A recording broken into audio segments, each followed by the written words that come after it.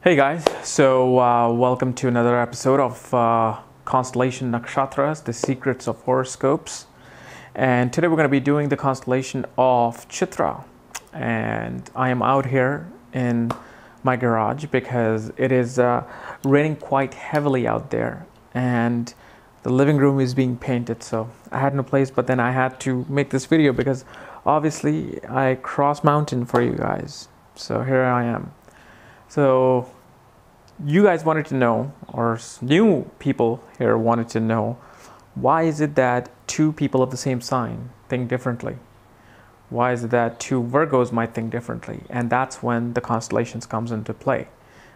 Just within a one single zodiac sign, there are two and a half divisions of that one zodiac sign, which is ruled by a different planet, and they mean different things. So when your moon at your birth comes into a certain degree in any zodiac sign, it's being ruled by a certain constellation. So if here's a zodiac sign, here's a constellation behind it.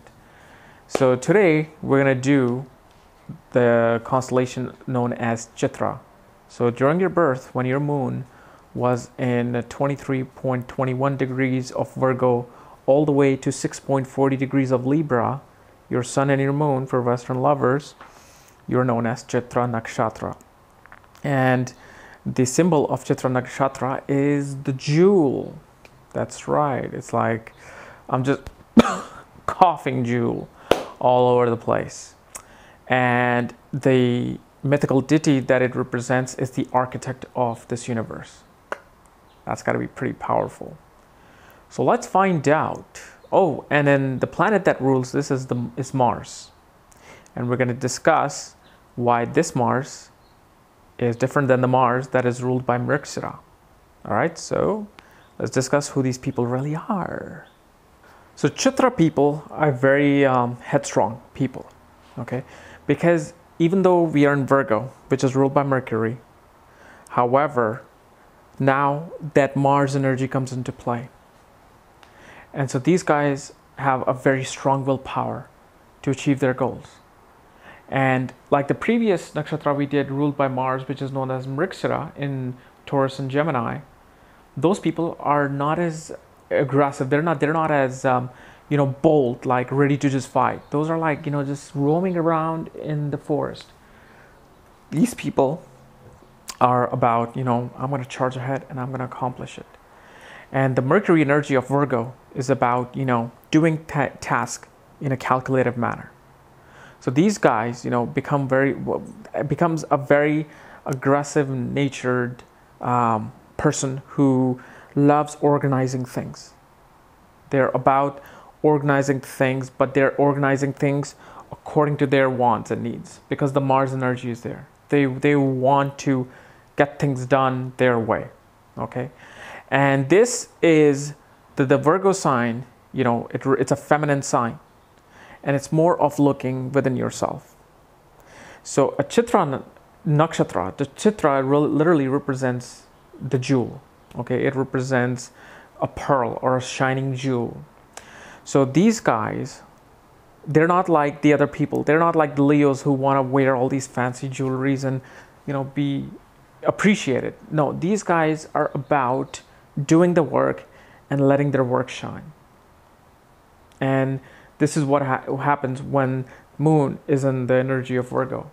But when moon comes into the energy of Libra, from 0 to 6.40 degrees Libra, then these guys become off. They become, you know, more off like for communication for other people. Because Libra is the seventh house, it's the directly opposite of the ascendant. So they love networking. They love, you know, talking to people, going out, you know, they're all about going on the red carpet and flashing their stuff. So these guys become in this in this zodiac sign of Libra, these guys become very good interior designers, very good fashion designers. These guys become um, very good, uh, I would say, fashion stylists because they know how to how to make a person shine. And so PR agents make good nakshatra of chitra and architects.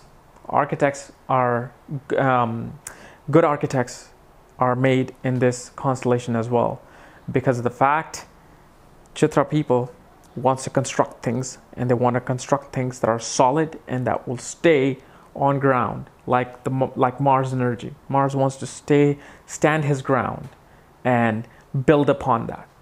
So this energy kind of has that you know um, mutated personality. So while in Virgo, they become headstrong people. They become, you know, the the organizers of a company, organizers of their own business. But when it comes to Libra, then they become more about, hey, let's have fun. Let's, you know, let, it's all about the the beauty of this world. How to make the world shine. That's the philosophy behind this nakshatra. How to make other people shine. How to make themselves shine, like the jewel.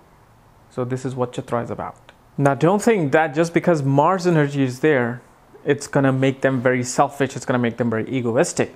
Now, this nakshatra represents a person who will go through any length for other people. And you need the Mars force, you need the Mars energy to fight through and take themselves and other people to a new height.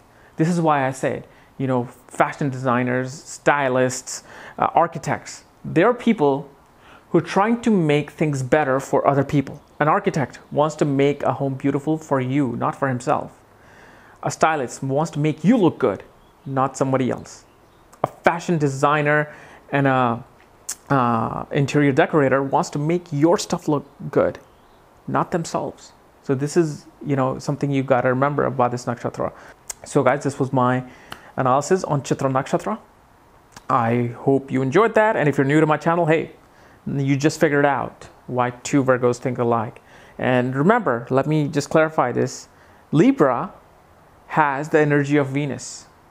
So remember, you have Libra and Venus, Libra and Mars, and Mercury and Mars in this uh, constellation of Chitra that I just did. So this is how you can see the dynamic changes. So yeah, if you're new to my channel, subscribe above. If you want to know more about astrology, check out the link below. Check out my book there, Astrology at the Speed of Light. Otherwise, I'll see you soon. Hopefully my room is painted next time I do this. Bye bye.